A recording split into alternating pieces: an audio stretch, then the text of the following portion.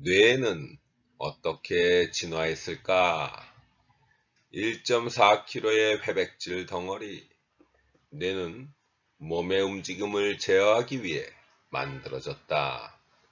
멍게는 유충일 때 뇌가 있어서 이리저리 움직이다가 한 곳에 정착하게 되면 자기 뇌를 먹어버린다.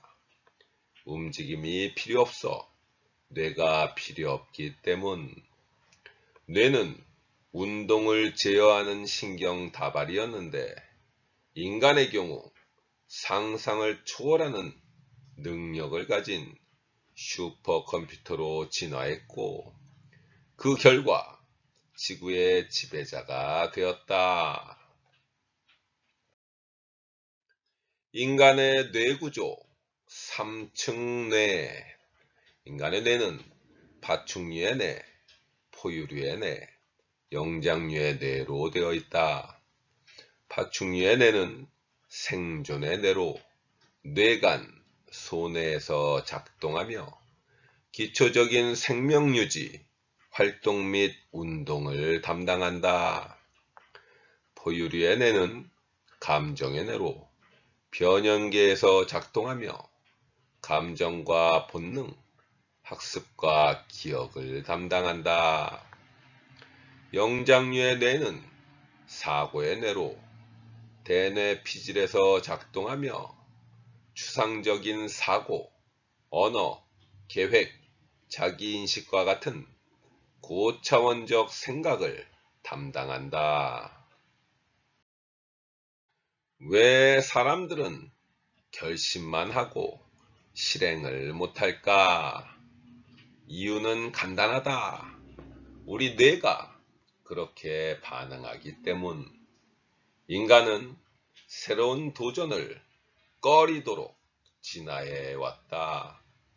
원시시대에 사람이 새롭게 도전을 한답시고 잘 모르는 오지에 가거나 호랑이에게 덤볐다간 다 죽었을 것.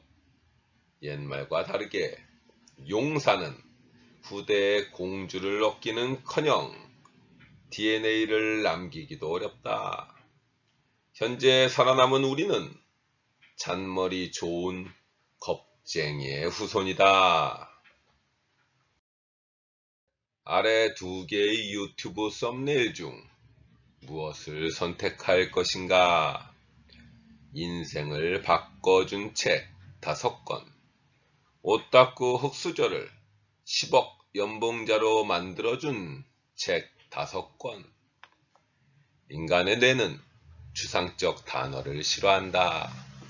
상대를 움직이고 싶다면 구체적인 상황으로 감정을 건드려야 한다.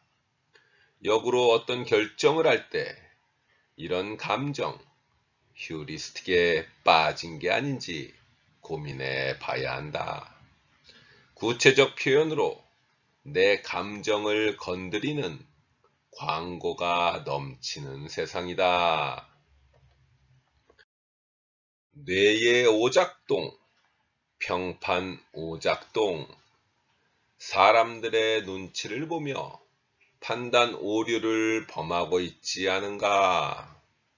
원시 시대에는 부족 사회였기 때문에 평판이 무엇보다 중요. 평판을 잃으면 생존과 번식에 불리한 상황에 놓이기 때문. 그래서 우리 뇌는 평판을 잃는 것에 큰 두려움을 느끼도록 진화했다. 하지만 현대 우리는 수십억 인구와 함께 살아가고 있다. 눈치 보지 마라.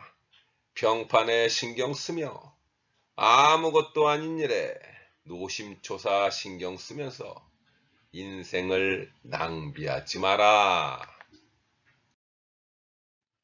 뇌의 오작동, 도전 오작동, 새로운 것을 배우는데 주저하고 겁을 먹고 있는가? 새로운 것을 배우는 일은 본능적 두려움이 있다.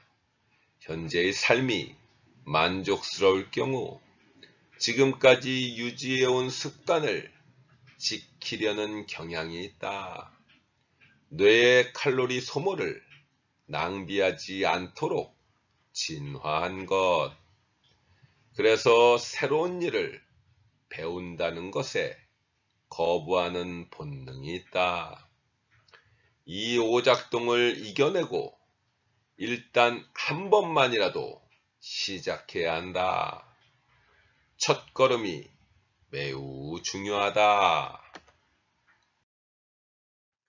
뇌의 오작동, 손실, 회피, 편향. 손해를 볼까?